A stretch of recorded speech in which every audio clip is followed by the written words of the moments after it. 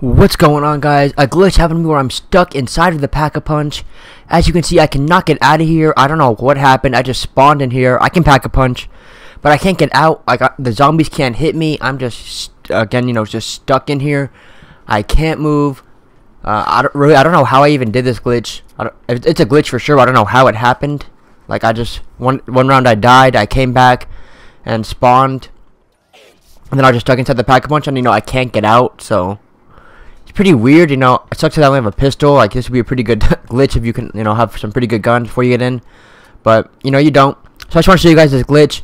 Uh, inside the Pack-a-Punch, kind of cool, but kind of weird, you know, kind of whatever. But leave a like if you could. Subscribe for more Black Ops 3 zombies and content, and I'll catch you guys on the next one.